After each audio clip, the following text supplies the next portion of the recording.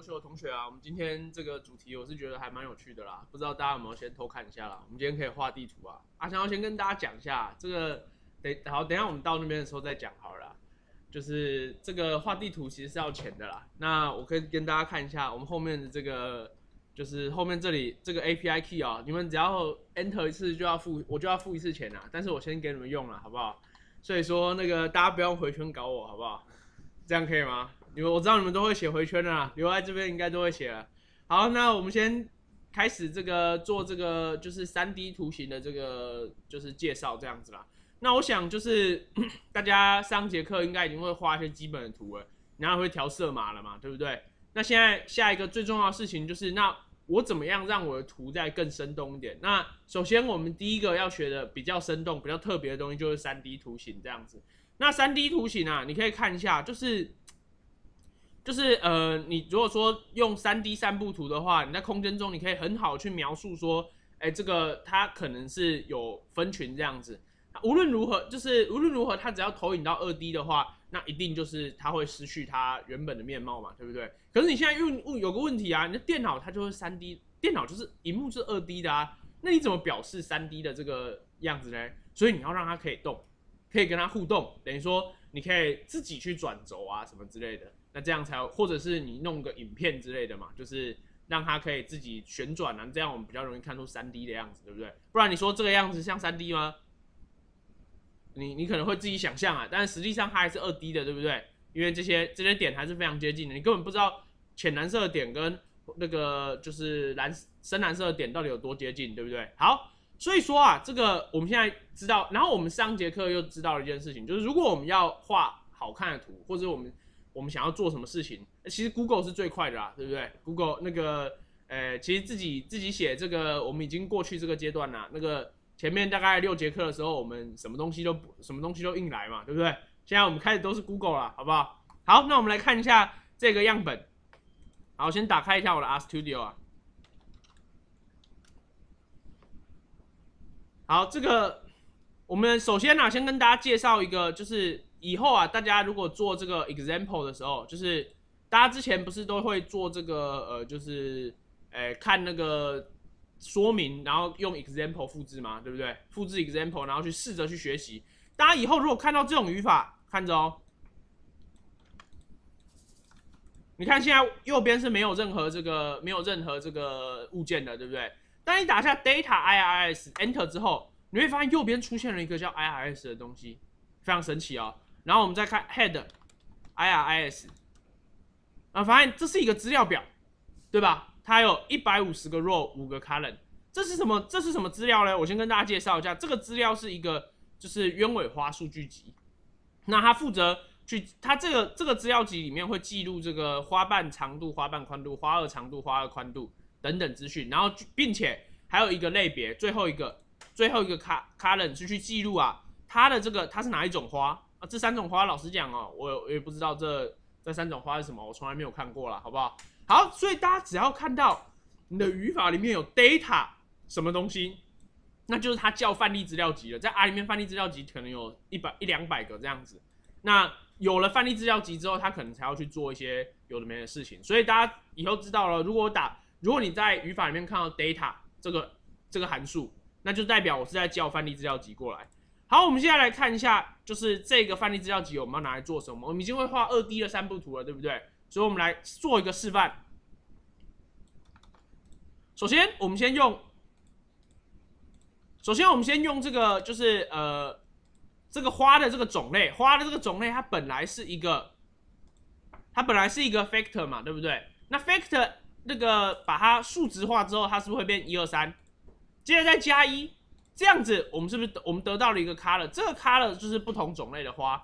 那注意一下，这个我们之前有教过，这个颜色我们可以用红色什么？红色就是可以直接打字上去，然后也可以直接调色嘛。还有最另外一种方法是，我们可以给它二号、三号、四号，二号就是红色，三号就是绿色，四号就是蓝色。如果你懒得调的时候啊，就是你可以直接用它 default 的这个。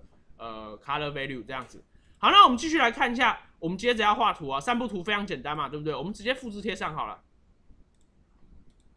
好，这个首先我们先把那个画框变成二乘三嘛，这个我我们已经学会了，对吧？然后接着哎，plot 就是我们把这个画长度、画宽度，把它 plot 上去。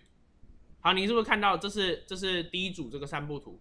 然后我们以此类推，legend，好，我们全部都把它画完。哎，怎么这么不给面子？等我一下。换，之后，你是不是发现，哎，这是不是呃，从某每一个角度来画三步图？如果你一开，它现在有四个轴嘛，对不对？它现在有四个这个就是变相。那我认两个可以组合起来，所以总共有四个。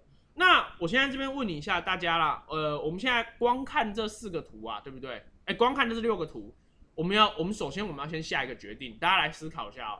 呃，我们最多，我们就算我们知道我们画三 D 图形，我们也只能呈现三个轴嘛，对不对？可以理解吧？我们最多就三 D 就三个轴。那请问一下，我们这边有四个维度啊，按照这些图形的话，我们要舍去哪一个轴比较好？大家选选，大家可不可以思考一下？来，我们鼓励一下大家举手啊，好不好？选择，哎，这个呃，舍去第一个变相的举手。第一个变相是这个变相，就是 involve 的变相是这三个。第一个变相的举手。啊，没有，没有人觉得要舍去第一个变相。那舍去第二个变相，第二个变相这个，舍去第二个变相的举手。哎，第二个变相，这个，这个，这个，这三个走。好，没有啊。第三个变相呢？第三个变相这个，这个哎这里，然后长度，然后长度在这里。好啊，第四个变相这个，然后还有这两个，这是好，好，没有人想要回答，没有关系啦。这个因为你们可能你们可能完全没有 idea 啦，好不好？这个我可以跟大家讲啊，看到这个图的时候，我们如果要舍去一个轴，我们一定是从右下角这张图。随选一个轴把它舍去掉，为什么呢？我们来看一下右下角的图有什么特性。右下角的图它是不是全部都集中在一条线上面，对吧？你知道全部集中在一条线代表什么意思？代表这两个这两个这个变相它非常的高度相关。这样懂我的意思吗？就是其实如果我极端一点的状况下，A 完全等于 B，它就会完全全部在一条线上嘛，对不对？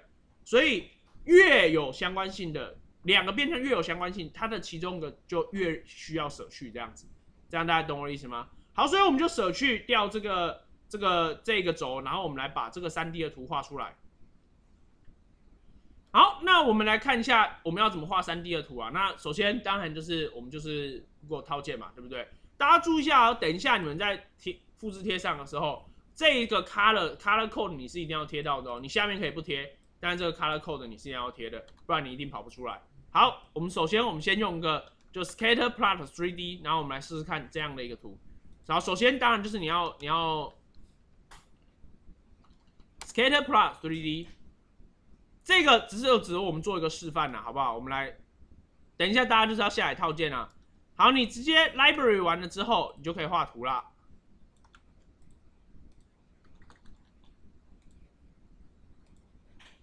哎，我先把它清空，免得这个它用那个小图。好，这个这个还是二 D 的嘛，对不对？它打到平面，只是看起来有点像三 D。我们把这个角度做一个调整，好，六十。好，有一些些微的变化，对不对？好，不过其实这个这个套件我并没有很喜欢用啊。我比较喜欢用的套件跟大家介绍一下，这个套件叫做 RGL。好，RGL，我先给大家把荧幕还给大家，因为 RGL 这个套件要安装很久。我们 install RGL 好，这边会要下载一堆东西啊。那我先把这个荧幕还给大家，这样子，等一下大家就可以先下载了。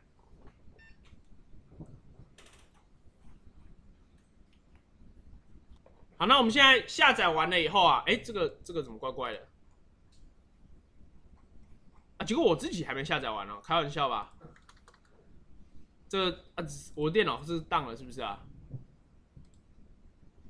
哎，我我的我的电脑好像当了，好吧，呃，没关系，当了也无所谓啦。我可以跟你们讲啊，就是反正等一下你们复制贴上，你们就会得到类似的答案了，好不好？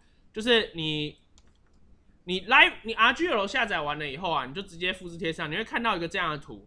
那甚至啊，这个呃，等一下你大概可以看到一个类似这样的图啦，就是我给大家看一下，就是这样子，可以。你可以跟他互动，这样大家懂我的意思吗？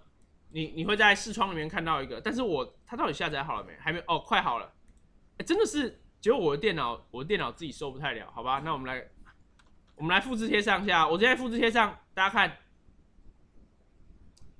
哎，真的是很大哎，这要发生什么事了？Error。所以我不能好，好，所以结果我我自己的电脑不能用哦。好，那我等下再来看一下我电脑要怎么解决了，好不好？那我先跟大家讲了，就是总之你就是复制贴上，然后你就可以看到一个这样的图。好，那大家注意一下啊，就是你复制贴上这一段的时候，你看到是这个样子，就是它这个我们可以为这个图稍微加点料，加什么料呢？我们可以把这个刚刚在这边画完的这个散布图，是不是在这里？它还是虽然是可以动，但是问题是它并没有那个把三个就是群集的那个就是区间把它画出来。那我们现在啊，我们如果你看到这样的一个，你可以点到这里的网页，它就会教你说，哎，其实你可以把你可以多画一个这个灰色的框框。那这个灰色的框框要用这种方法加，在这里加。好，在这里在这里有一些说明啊。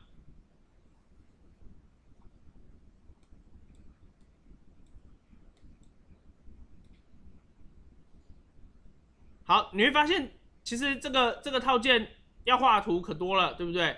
还有一堆东西可以画，而我们我就觉得说这个，哎，我就觉得说画成这个样子蛮好看的，对不对？我我蛮喜欢画成这个样子，然后大家可以试试看怎么样把这个图画出来，好不好？好，先把荧幕还给大家。好，我这基本上我放弃在我的电脑上面用了啊，我不知道为什么大家都成功了，就我失败了这样子啊，我不知道为什么这个套件我装不起来。好，那我跟大家讲一下这题的关键是什么啦？这题的关键是，如果你仔细观察语法的话，你会发现这个灰色的框、灰色的圈，它其实对所有样本的，就是总共有一百五十个、一百五十个样本，呃，三种花各五十个嘛，对不对？所有对三种花分别去计算它的 covariance 跟它的这个平均值，然后用这个东西来去画这个画这个图，然后用那个黑色。好，如果这个答案基本上就是这个，诶，我啊就只用前，就是第一种花，第一种花就是前五十个，所以这边改一到五十，然后 V C O V mean 一样，全部都给它这个就是一到五十。好，这个 apply 这个函数啊，apply 这个函数我在这里用哦，其实是不是非常恰当啊？因为大家应该从来没有学过 apply 这个函数，apply 这个函数啊，它其实就是，哎，我啊，我想要把这个。就是我本来我现在有这样一个 data，然后我这个二这个二这个二就是我要对这个 column，就是第二个维度做某一件事，全部都做 mean 这件事情。我 apply 这个函数啊，大家就可以看到，哎，这边我就有三个 mean 就算出来了。如果这二啊改成一，那就是对每一个 x 轴，就是对每一个第一个维度五十个都会计算出一个平均值。这样知道我的意思吗？apply 这个函数类似要用回圈的回圈的意思，这样可以吗？如果大家不会写 apply 这个函数呢？哎，至少我们就我们就这样写嘛，就我们就这样写，就是一到五十。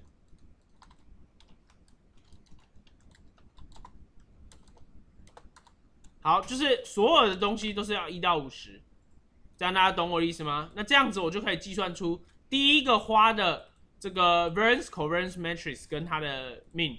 好，这样子我们就可以把它的这个。就是这个东西把它画出来，画成这个样子，哎，怎么变得有点小？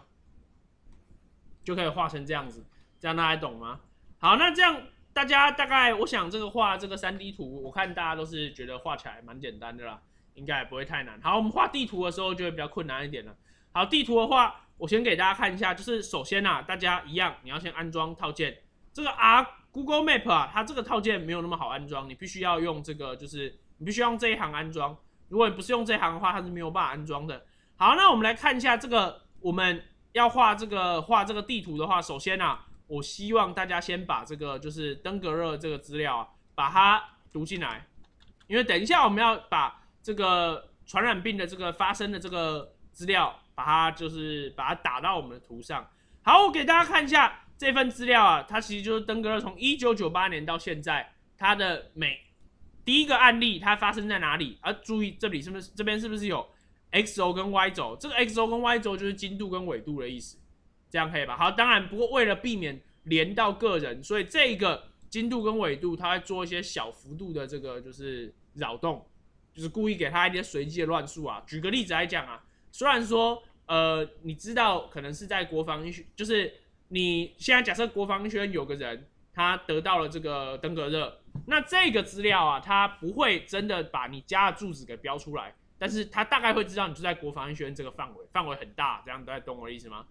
好，那这样的一个 data，我们要用 Google Map，我们要把这个 Google Map 这个，我们要把它很好的这个视觉化呈现的话，我们就需要用到这个就是 Google Map 这个这个东西。那我们要怎么用 Google Map 呢？来，我们来看一下哦。来，我们如果想要把它画在台南市的底图，那我们就需要用到这个。来，首先先决定台南市的经度跟纬度的范围是多少。这个值啊，你可以在 Wikipedia 里面查到。如果你查纬台南市。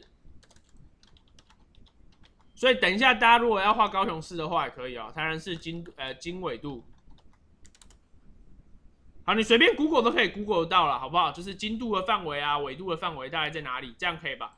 好，那我们经度跟纬度的范围决定了以后，我们就可以用到。哦，我要先啊 Google Map。好，经度的范围跟纬度的范围决定了以后啊，大家就可以用 Get Map 这个函数把图把图弄出来。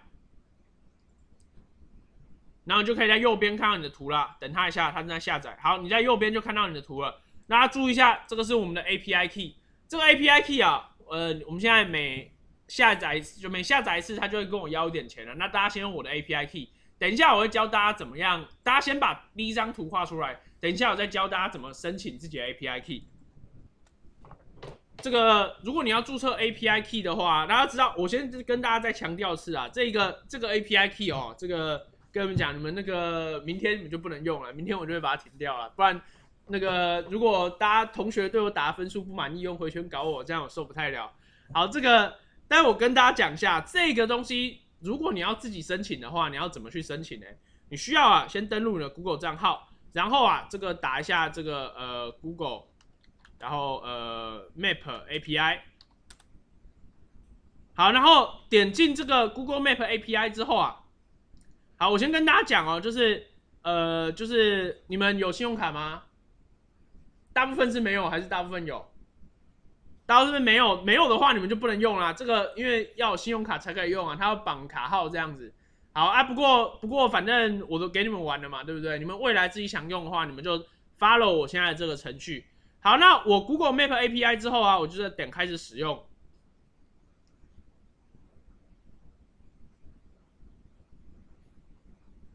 然后一进来之后，我给大家看一下，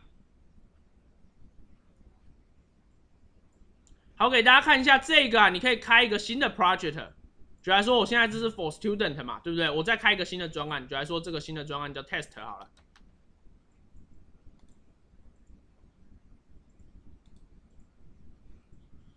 好，大家注意一下，就是你你进来之后，你要先开一个新专案哦，这样懂我的意思吧？然后，但是我那个 test 正在建立中。要等他一下，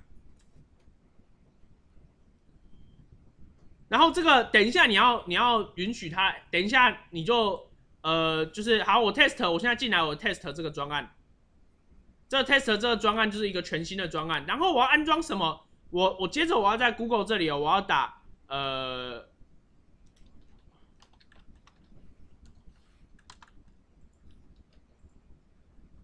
哎还是叫 map 哦 map。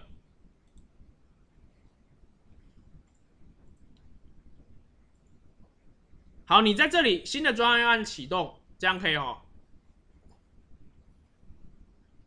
就是你要把这个这个 API 给它启动起来。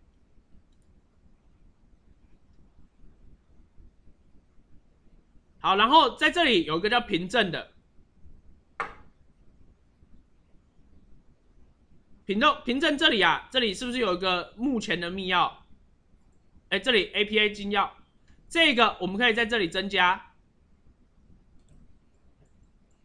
启用 API。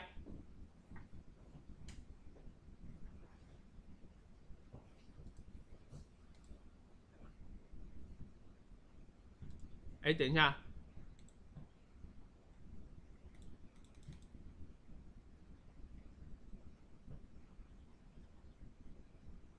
哎，我建立 AP 建立新的 API 在哪里？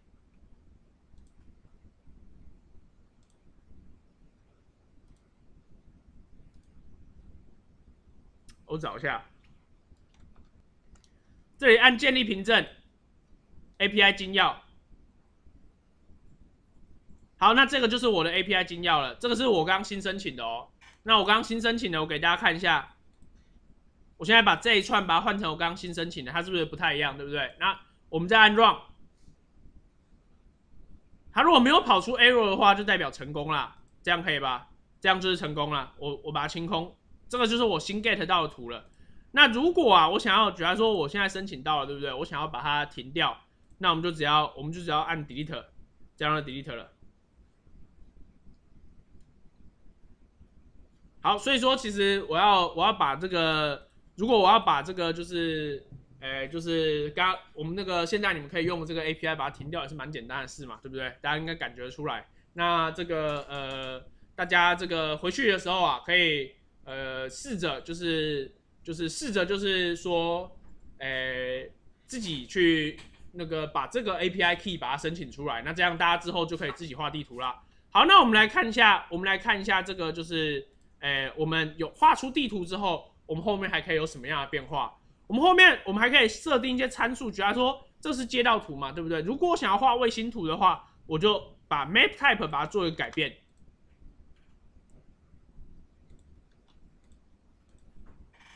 注意，我刚刚是不是把刚刚那个 API Key 把它停掉了？现在应该是不能用了。你看，大家看到是不是不能用了？所以我现在需要用回本来的这个 API Key。所以没有 API key 是没有 API key 是不能够使用这个，是不能跟 Google 下载地图的。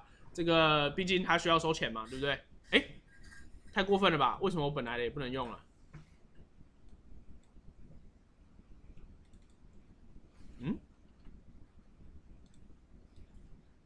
那我本来不能用，这样等下大家会很麻烦哎。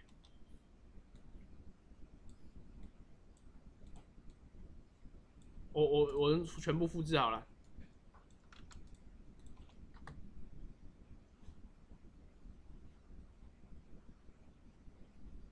哎又可以用了，这是什么鸟？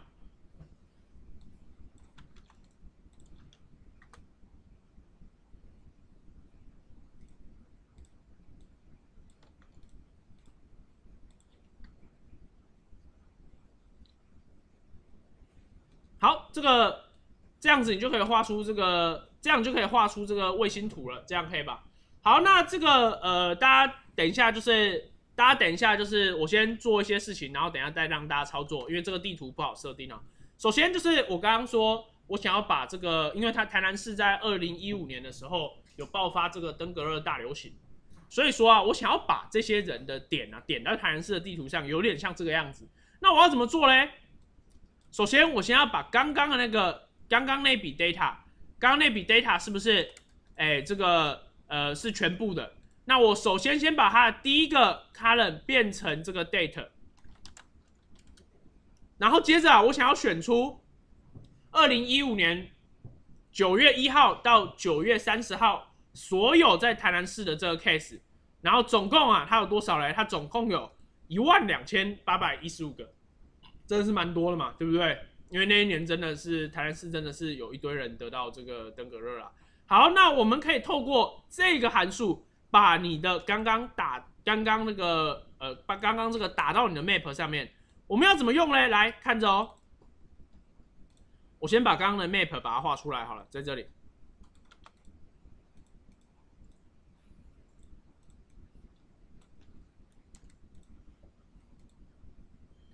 好，大家注意哦，这个 plot on 这个 map 上面啊，这个。你需要输入经度跟纬度，经度就是 y 轴，哎，纬度就是纬度就是 y 轴嘛，那经度就是这个 x 轴。然后接着你这个这个函数啊，它你必须这个一开始你这个 map 是你拿到的 map 嘛，对不对？这个函数必须把这个 map 当做输入，然后接着啊，哎，告诉他说我要 pch 十九，十九就是我们之前那个学到那个就是圆形的那个圆形的那个点，然后接着 color 是 red，然后那个大小是一。好，这样它就可以点上去了。然后大家可以试试看哦。这个我们之前不是教过色码嘛？那这样叠的乱七八糟的不好看嘛，对不对？我们可以把它改成，假如说 FF 零零零零，然后假如说三零。那我们点的大小稍微小一点，好，小到零点五，再次。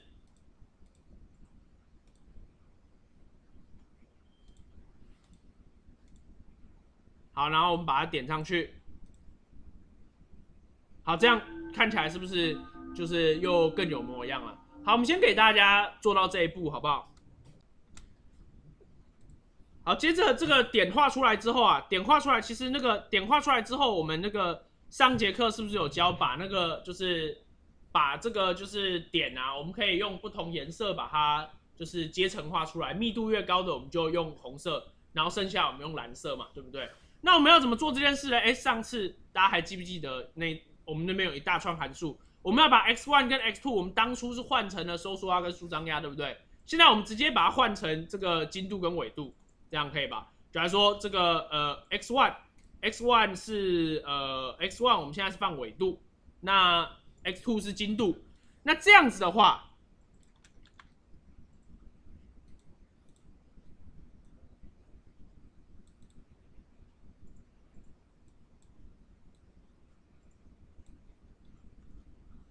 好，这样子的话，这个大家可以看一下。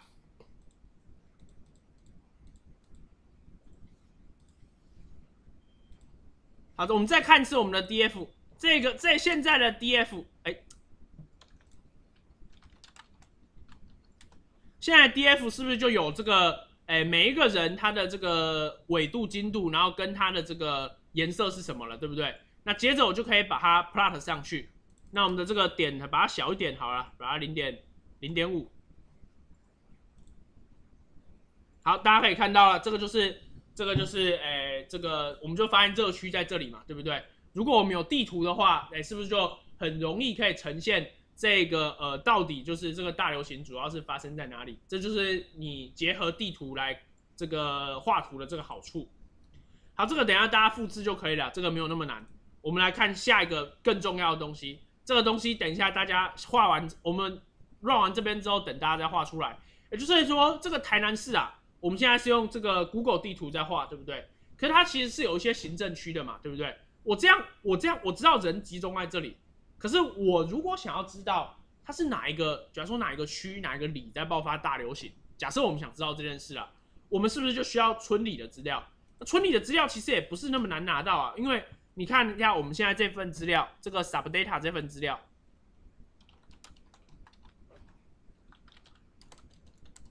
哎，这边是不是有这个台南市北区什么里？所以这个是不是其实我们是对的回去的嘛，对不对？可是问题是我们现在要画这个行政区的边界啊，对不对？行政区的边界怎么画嘞？你需要到这里下载这个各行政区地图边界的资讯。好，我们来看一下这个 file 里面总共有多少东西哦。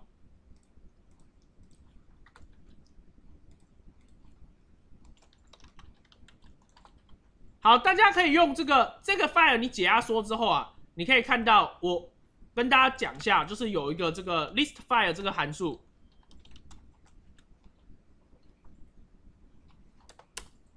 好，你可以看到这里面有这这里面的档案啊，主要就是有一个这个乡村资料这个 txt 档，这个 txt 档啊，你把它读进来以后，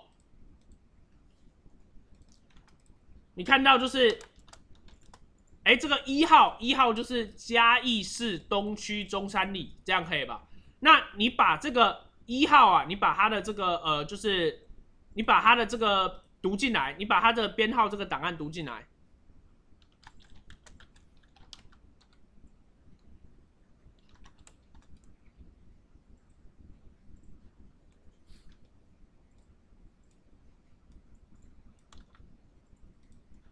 好，编号一。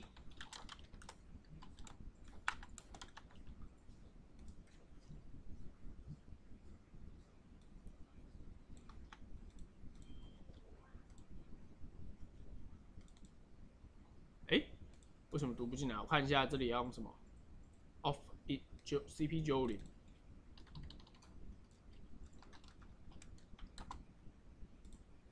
好，你把它读进来之后，这是什么资料嘞？这个是精度跟纬度的坐标序列。这个坐标序列啊，其实就是其实就是那个就是它的那个边界，它是用这一些精度跟纬度画出来的框，所以我需要用那个呃 polygon 这个函数嘛，polygon 可以帮助我们画出这个画出这个就是呃。这个多边形嘛，对不对？所以我要用这些图形画出多边形啊。上个礼拜教到都有都有用到。好，那我要怎么样把这个边界画出来呢？好，给大家看一下。我们首先先把跟台南市有关的乡里画出来。好，是不是台南市在这里？那接着我们可以利用回圈把村里的边界标上去。好，让大家知道一件事情哦，这个村里的边界啊，我把档案读进来是 lie data 嘛，对不对？我把这个所有跟台南市有关的图读进来之后。我们一样用这个这个这个函数，但是在最后 function 这里，我需要请他画这个画线，这样大家懂我的意思吗？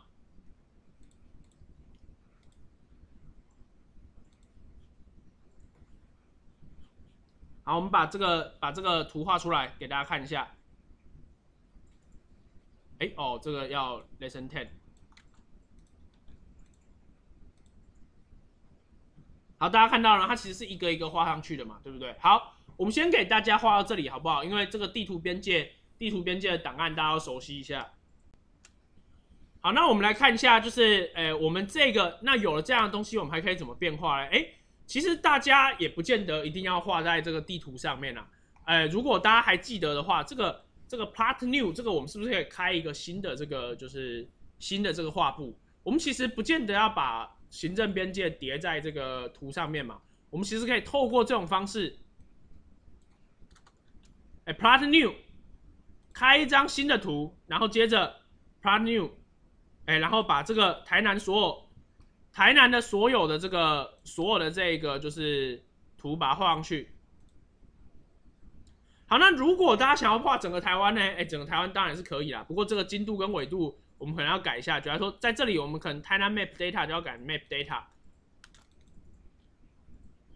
好，这个精度我也不知道，哎，台湾是精度纬度是分别多少啊？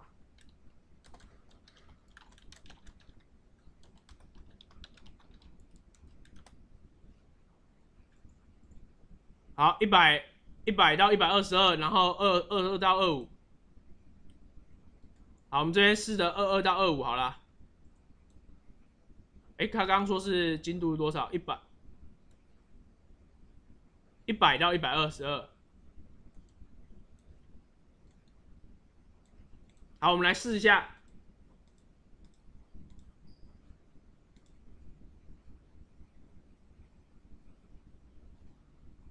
好，有点久，怎么那么久？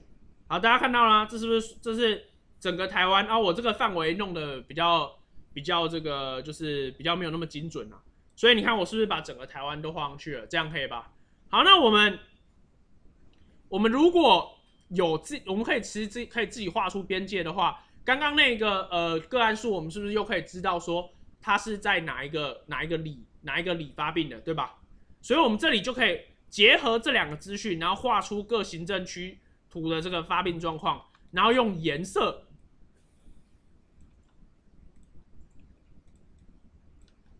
用颜色把它标出来，这里什么意思呢？就是我啊，我 i 等于一的时候，i 等于一的时候，我把这个，我把这个图把它画出来，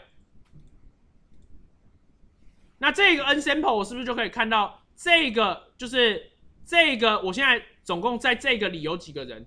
如果它没有人的话，我就画这个白色，剩下我就画蓝色，然后一直到红色。好，这样子我就可以把所有的这个行这个村里的这个发病人数跟它颜色相关的讯息把它画上去。那我们就可以知道，哎，爆发主要集中在市区。这个跟我们刚直接把点点上去意思差不多嘛，只是说我们现在这个就是因为有行政区的话，我们更能够看到这个就是到底这个问题出在哪里。好，那画完这个的话，哎，因为我们有学过这个透明嘛，对不对？透明就是我们把色码后面全部把它加上八零，八零是半透明，对不对？好，所以我们我们来看一下半透明的图长什么样子。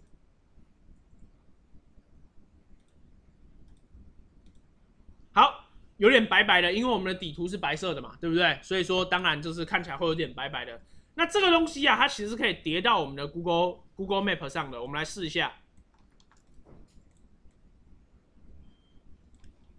一样精度纬度确定之后，我们先把这个底图给画出来。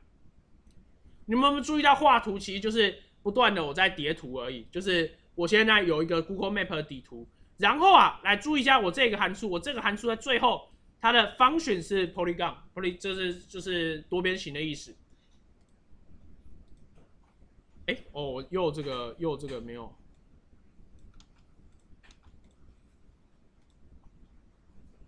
好，这样我们是不是画出来看起来就很专业啊？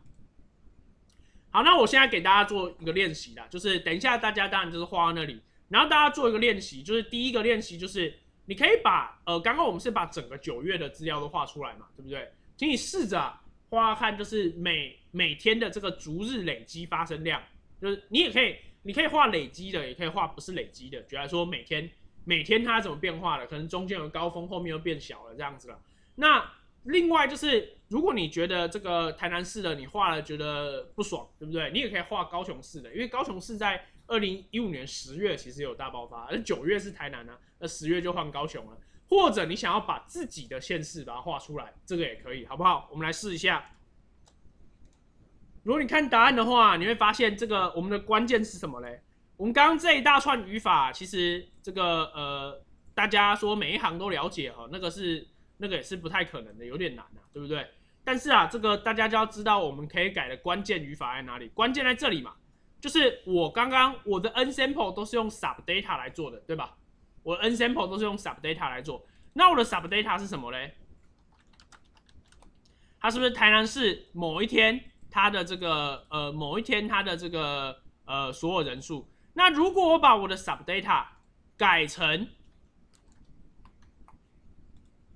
改成这个样子取得，也就是说我原始的 data 里面，我的改成说这个它的日期啊必须小于等于某一天，并且大于等于九月一号，那这样子我是不是就可以拿到九月一号到九月 n 号的这个日期区间呢？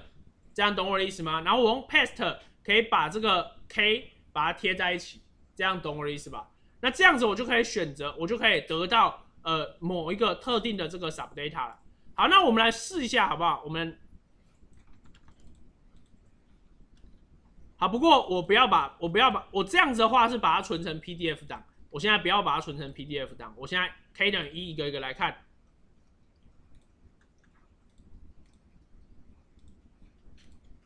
好，我先按 k 等于一。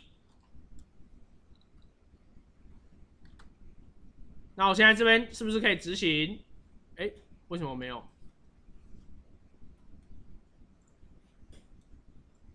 我没有 data 这个档案了吗？哎，哦，我我不小心把它洗掉了。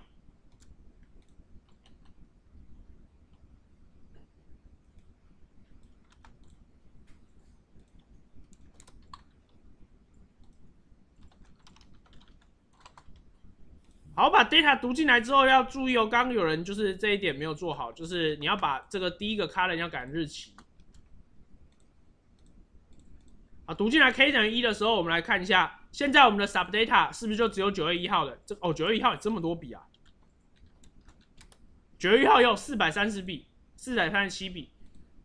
好，然后现在是底图嘛，对不对？然后我用九月一号的把这个画上去。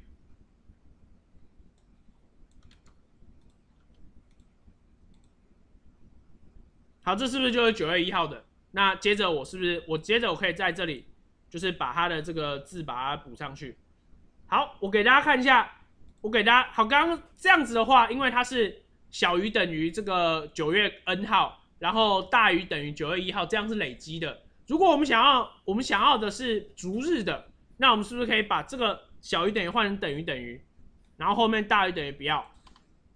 好，接着我们再做一次，大家看一下哦。九月一号，我靠，这个，啊，这个是这样，我们是不是可以画出这个变化了？然后，如果你可以把这个，就是那 PDF 只是我们把它存出去，在这里，如果我们用 PDF 的话，只是把我们把图存出去，这样可以接受吧？好，那我们来就是我们给大家就是稍微玩一下了，好不好？然后大家可以换这个高勇士。我们今天课都上到这里，不过这个哎、就是大家还是可以留下来继续玩。